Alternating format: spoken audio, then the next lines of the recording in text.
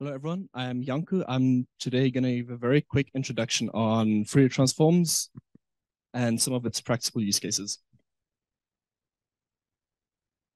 So a quick background on Fourier transforms is in 1922, Joseph Fourier claimed that any function can be expanded into a series of sines. And since then, his work has been corrected and expanded upon by others to provide the foundation for various forms of Fourier transform that is used today. Uh, so a quick, what is a Fourier transform? Um, it is a type of mathematical transform. It transforms non-periodic functions in the time domain to a function in the corresponding frequency domain. It is a tool to break a function into a sinusoidal form, which is just a combination of sine and cosine waves. And it is normally used in conduction of heat, wave propagation, digital signal processing, and image processing, filtering, etc. So a Fourier transform, if you look there, it is a very, it's not a nice equation. It's interesting math. I'm not going to go into that. Instead, I'm going to give a very a real world example on how it works. So what it does is if you have a smoothie, it finds the recipe for the smoothie. How it does that is it runs your smoothie through a bunch of filters that each one of those filters extract a single ingredient. The reason why you do this is recipes are easier to analyze, compare, and modify than the smoothie itself. And to get the smoothie back, uh, you just blend the ingredients together. So a Fourier transform basically takes a time-based pattern, measures every possible cycle, and returns the overall cycle recipe. Uh, some of the limitations of Fourier transform is the filters must be independent uh, the filter for bananas must only capture bananas. The filter for oranges must only capture oranges. Uh, adding more oranges should never have an effect on the bananas reading. Uh, filters must be complete. You won't get a real recipe if you're missing a filter for one of the ingredients inside the, the smoothie. And the smoothie ingredients must be combinable.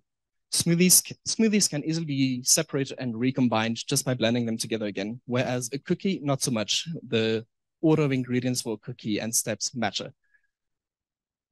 So if you quickly look at this graph, what the Fourier transform does is it takes, uh, on the left, a time series graph.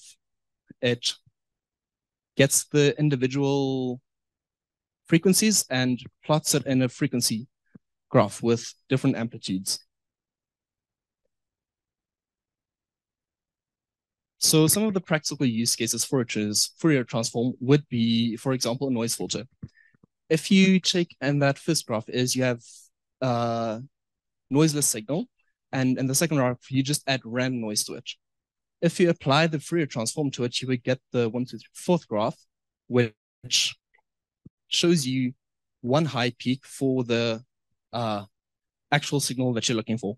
So what you would then do is just look at the specific uh, amplitudes that are above a certain level to find your frequencies that are not noise. So you grab those frequencies and you reconstruct them back into your Fourier, uh, back into your original signal without the noise. Uh, similar to, still looking at this graph, this is also, it can also be used, for example, uh, creating high pass and low pass filters on sound, where if you don't want any frequencies above or below a certain level, you can throw your uh, signal into a Fourier transform and then just remove any frequencies above a certain frequency or below a certain frequency, and then reconstruct it back into your original signal. Uh, Fourier transform can also be used in image processing.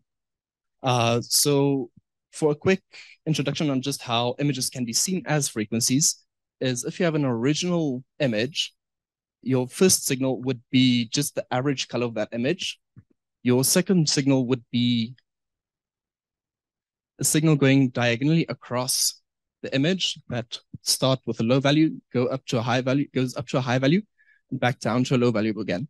This keeps iterating from different points and different angles on the image until you get your final image. Or as I show here, this is just 50, uh, the original image using 50% of the uh, frequencies.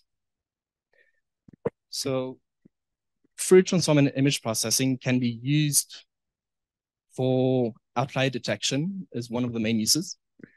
Um, if you look at the cat image, uh, this here use, specifically uses discrete 2D Fourier transform. Uh, and the image on the right, top right, is the spectrum of Fourier transform. It is a heat map where the color represents, represents the sine wave's amplitude and the position is frequency. So we're basically treating the image as a function of its pixel position of X and Y. So when the color jumps from black to white, uh, the color changes very quickly. So there's a high amplitude for the frequency sine wave that contributes to that jump. So low frequency waves and sine, low frequency sine waves are responsible for the image's overall color and high frequency sine waves would be responsible for the edges. So if, if we take the image and we extract all the high frequency sine waves, which are here in the middle, uh, you would basically get the original image, but just with its edges that it detects. And conversely, if you remove all the low frequency sine waves, you would get a blurry image.